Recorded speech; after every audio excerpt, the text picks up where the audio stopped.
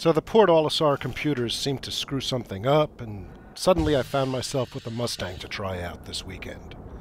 So I figured I'd take it out on some Comm Array missions. And that's when some jerk ass blew up my ship.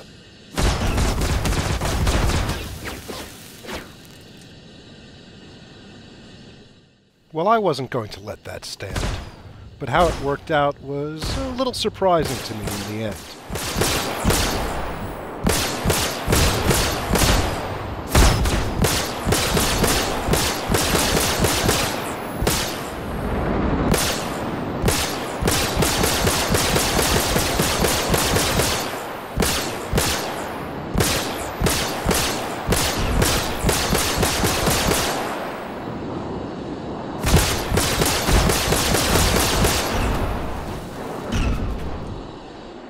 When I ran out of bullets, I figured it was just a matter of time. And in a sense, it was.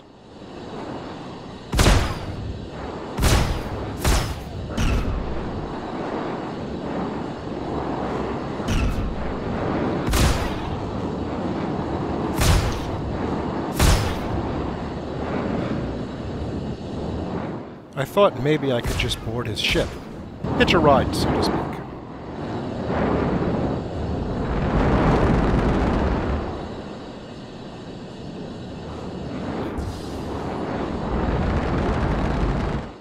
But no, he chose the coward's way out.